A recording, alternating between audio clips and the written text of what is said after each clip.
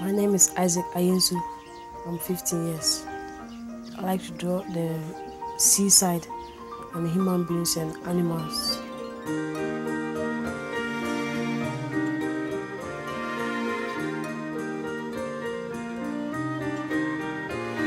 We try, we crawl, we live,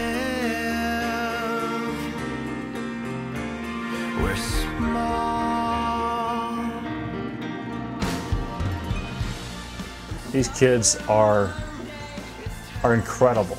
You know, the thing that struck me the most about the children when I came was uh, even though they've gone through so much pain and suffering, probably more so than some of us will ever see in a lifetime, their hearts are wide open. We try, we crawl, we live, we're small. They get to try so many new things, and then that allows them to know that they are capable of so much more than they ever dreamed of just because they're given the opportunity to do something new. It's an amazing place to be as just a neutral observer to watch these children be completely lost in whatever it is that they're drawing or they're painting or whatever it is, or even dancing. That's the beginning of becoming whole as a, as a person, I think, is just the freedom to express and to create.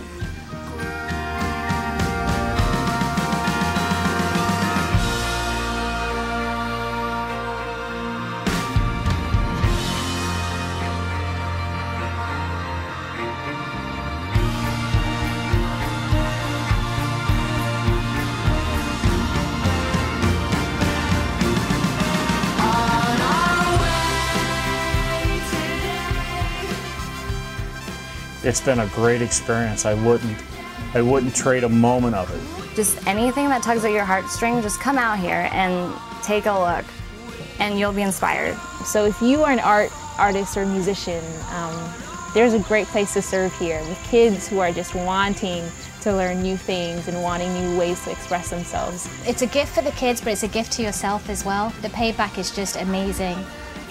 The Children's Art Village is not just art camp for one week out of the year. What we do with financial support from our donors is we actually build a sustainable art program. We're about building something that is sustainable. And it really is therapeutic for those kids. They just absolutely blossom. And that's what's been really joyful to watch them. And they do become little kids again, the way that they should be. If you want to come, come. The kids here are going to welcome you, and the people are going to love on you, and it's awesome. It's awesome.